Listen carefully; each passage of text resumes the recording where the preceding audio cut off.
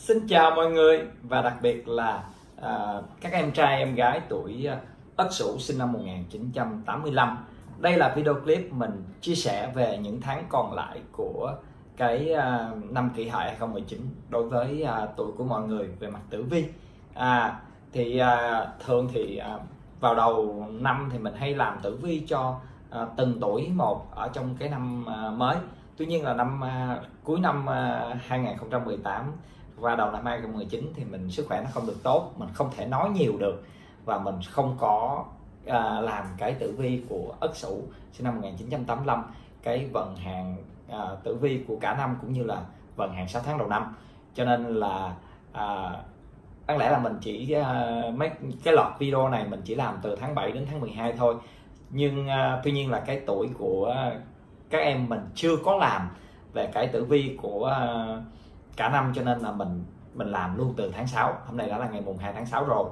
À rồi là nói sơ về cái vận hạn của cả năm đối với cái người của các em nó như thế nào. Thì cũng như tất cả các cái tuổi sủ khác à, gồm à, những cái tuổi mà à, sủ khác thì năm nay là năm tam thai đầu tiên của người à, ất sủ. À, 3 tuổi bị chịu tam tai chứ không phải là riêng là là là tuổi sửu không đó là tỵ dậu sửu nhưng năm 2019 này à, tuổi tỵ chịu sẽ nặng hơn. Và năm tới là người tuổi dậu và năm cuối cùng là của người tuổi sửu. À tuy nhiên là do cái chữ ất của ất sửu lại khắc chữ kỷ của kỷ của năm cho nên là công việc từ đầu năm giờ ngoài cái việc tam tai đã đem lại cái sự khó khăn.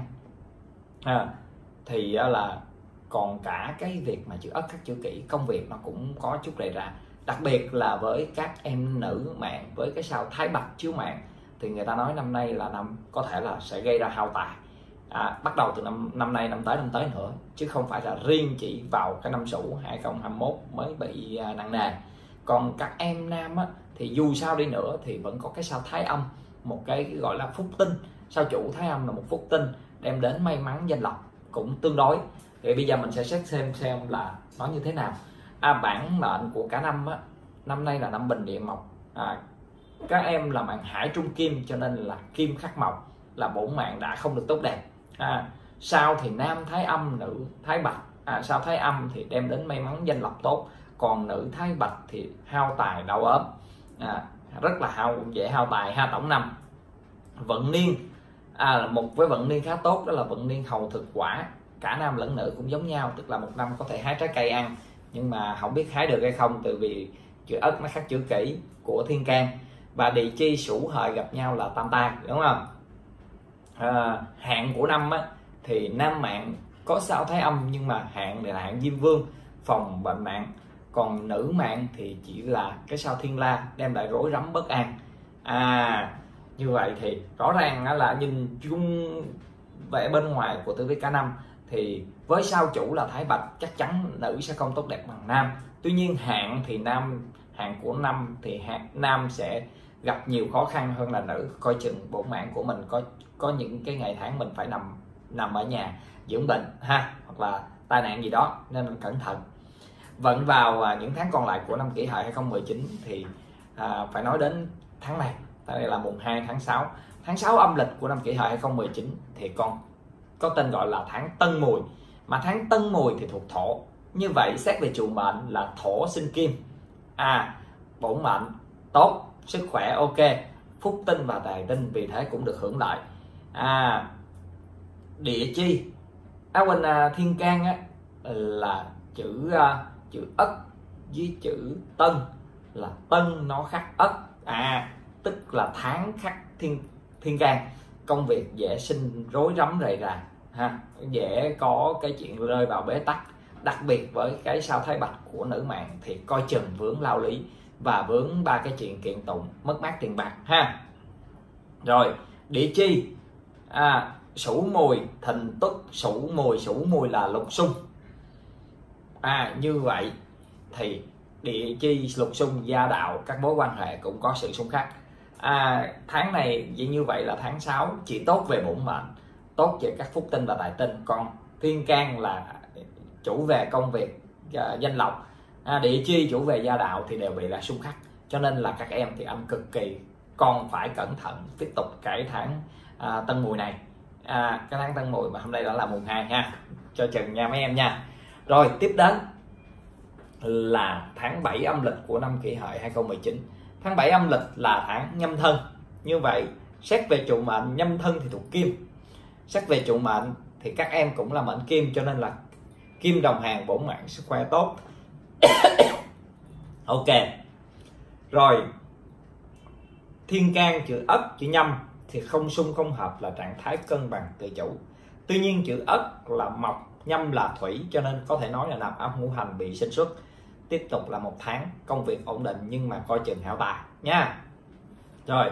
Địa chi, thân sửu là tự chủ bình hòa không hình hại cũng không có tính khác nhau.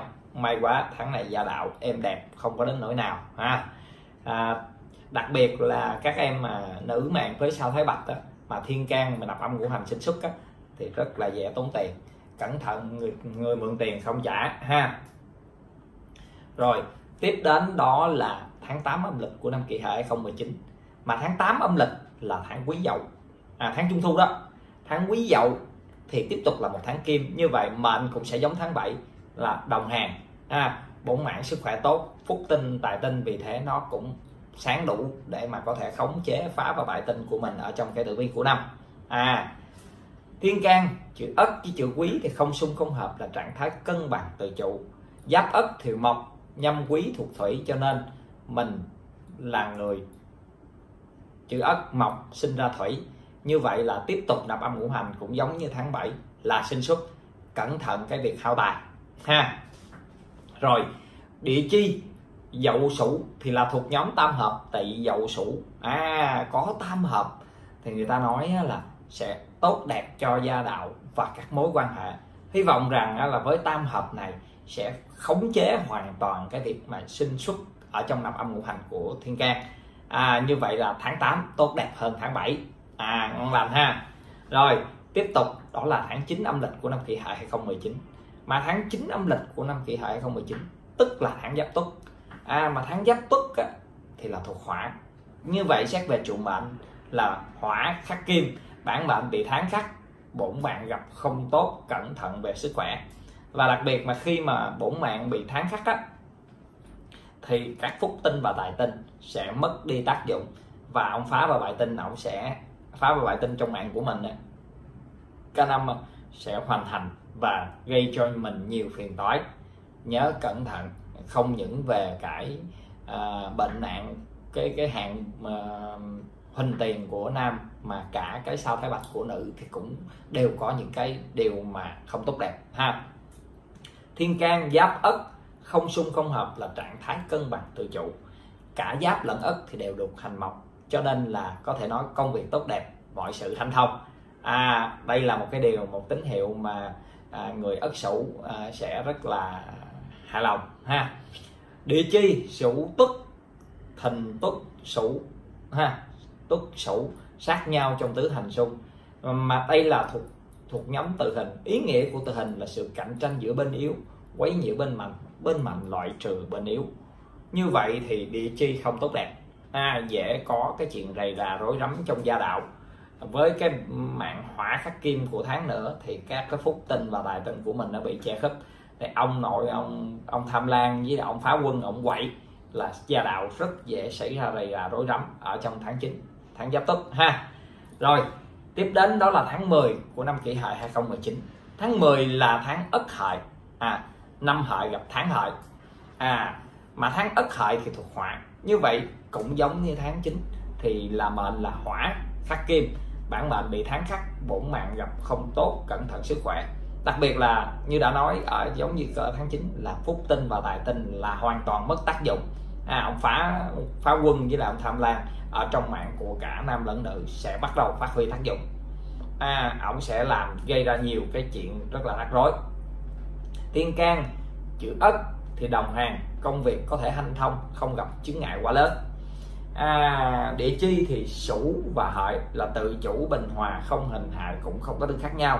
Như vậy tháng 10 xét về à, à, gia đình và công việc tốt đẹp hơn tháng 9 tuy nhiên cũng giống như tháng 9 là mạng bị tháng khắc cho nên là cẩn thận nhiều điều. À, đặc biệt là với phá quân tức là cái tác lực ở bên ngoài gây cản trở cho mình trong công việc làm ăn các, các em các em ất sửu nhớ cẩn thận. Rồi tiếp đến đó là tháng 11 âm lịch của năm kỷ hợi 2019 mà tháng 11 âm lịch của năm kỷ hợi là tháng bính tý. À, tháng bính tý thì chắc chắn là thuộc thủy rồi. Như vậy mệnh là bị kim sinh thủy tức là mệnh kim của các em sinh thủy. À, hải trung kim sinh ra thủy. À, bổn mạng bị sinh sức sức khỏe sẽ yếu cần cẩn trọng một tí xíu. À ở trên là tương khắc nó nặng nề hơn ở dưới là sinh xuất nó nhẹ hơn nhiều rồi.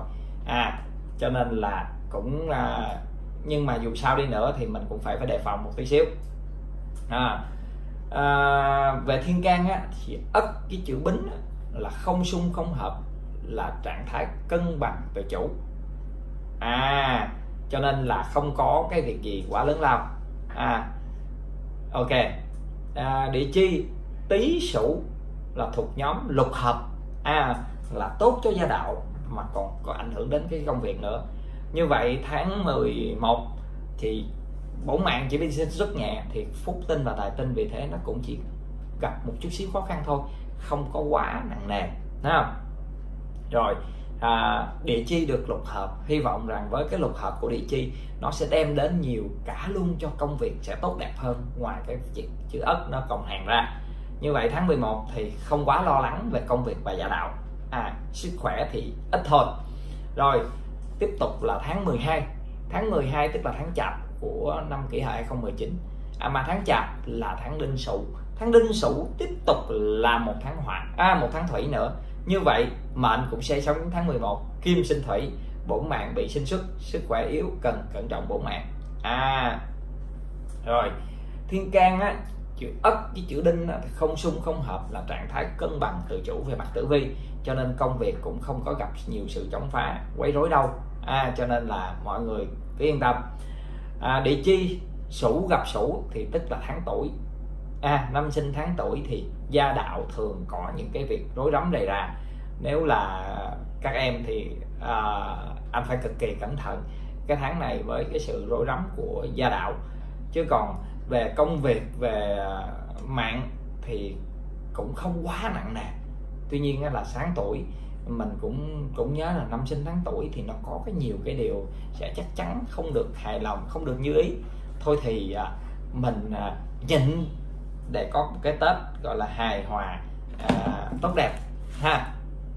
Rồi như vậy là mình đã tổng hợp xong cái 7 tháng cuối năm từ tháng 6 tới tháng 12 của, của cái vận hạn cho người ất sửu à, bên cạnh những điều tích cực thì cũng có những điều xấu khá khá à, chứ không phải là mọi thứ đều tốt đẹp.